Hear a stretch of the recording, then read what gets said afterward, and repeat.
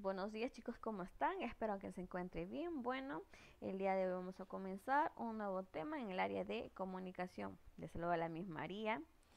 Ya, en este caso vamos a aprender algo sobre gramática. Bueno, ahí tenemos lo que es en la imagen a una mamá y a su niña en una conversación, ¿ya? Mamá, debemos tener más focos ahorradores en casa y utilizar cuidadosamente la plancha.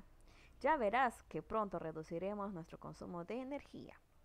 La mamá le responde, efectivamente, desde mañana cambiaremos los focos. Bueno, ¿qué palabra destacada en la conversación indica cantidad? ¿Qué palabras destacadas en la conversación indica cantidad? Lo que indica cantidad en la conversación es la palabra más, ¿ya? La palabra más que indica cantidad.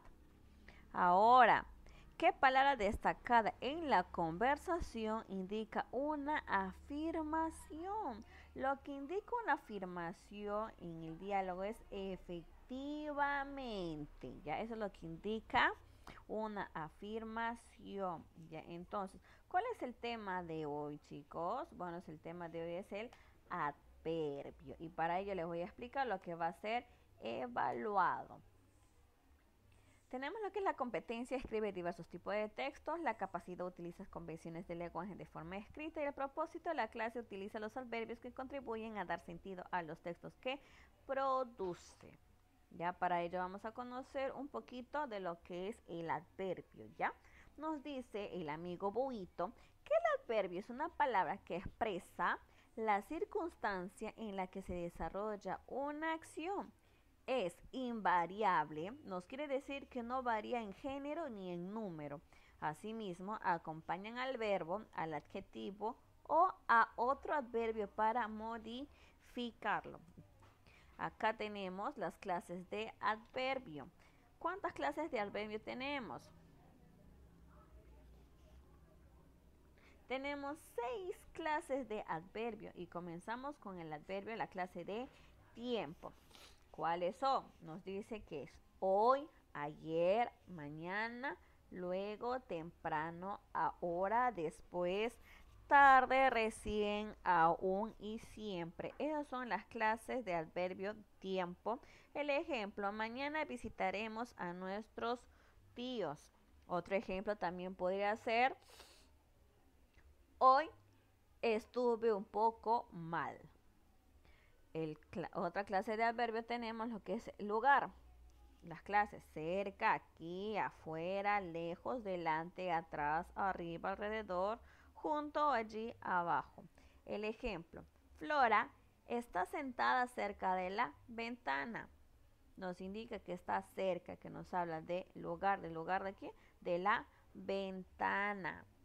Tenemos lo que es el adverbio modo. Bien, despacio, mal, a prisa, sí, lugar, apenas, adrede, rápidamente y otros términos terminados en mente, ¿ya? Entonces, ¿cuál sería el ejemplo? Las aves huyeron rápidamente. Quiere decir que fueron volando rapidito, ¿verdad? Ahora tenemos lo que es la cantidad, mucho más, muy, tanto, bastante, menos, poco, demasiado y tan. El ejemplo, no es tan lejos, no es tan, no está tan lejos, o sea, tan significa de la cantidad. Afirmación, que significa que que si estás afirmando una cosa, sí, también efectivamente y claro. El ejemplo, sí tengo mucha hambre, o sea, quiere decir que yo tengo hambre. Tenemos otro que es negación, no, nunca, tampoco, jamás. El ejemplo, tampoco debemos tirar la basura, no quiero eso, ¿ya? Entonces conocemos lo que son las clases de adverbios. ¿Cuántas clases de adverbios hay? Son seis. ¿Y cuáles son? Tiempo, lugar, modo, cantidad, afirmación y negación. Bueno, aquí tenemos lo que dice, observa los siguientes ejemplos de adverbios. Tenemos, él habla mucho, está muy contenta, la veo tarde. Entonces, él habla mucho, la palabra mucho, ¿qué tipo de, adverbio será? Será de cantidad. está muy contenta. ¿Cuál será?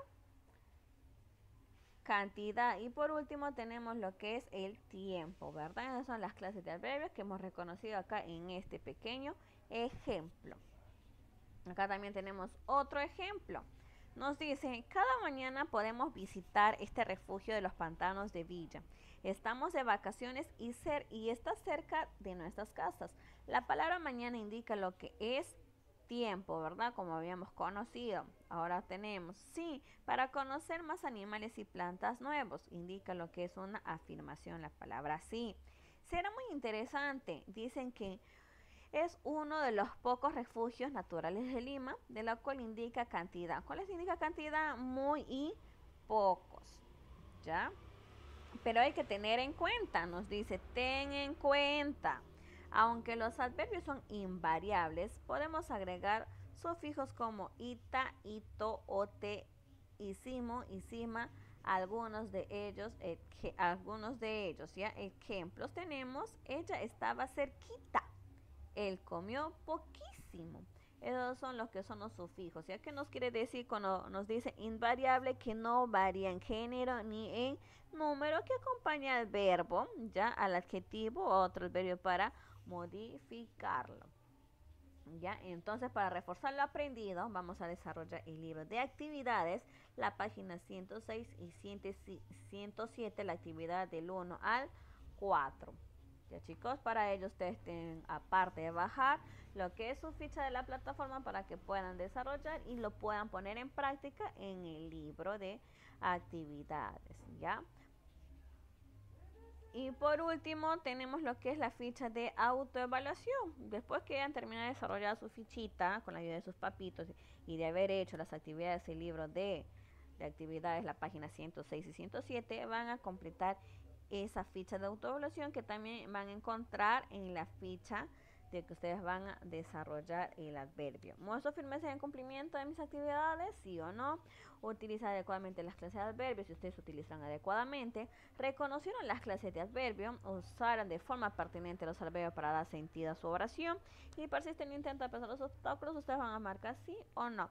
Bueno, el día de hoy que hemos visto, hemos visto lo que son el adverbio, ¿verdad? ¿Cuántas clases hemos conocido? Hemos conocido seis clases. Muy bien chicos, ha sido todo por hoy en la clase de comunicación con el tema el adverbio. ¿Ya? Así que cuídense mucho y muchísimas gracias. Como le dice su amigo Piolín se despide. Bye.